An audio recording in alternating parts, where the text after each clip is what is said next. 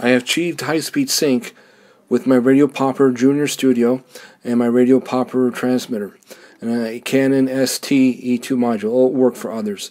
I've hooked up my Junior uh, receiver up to my AlienBee just with the mini jack. I prefer that.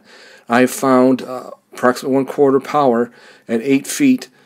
Uh, works really well, but you have to use the aperture wide open, and this is the results that, that you can get.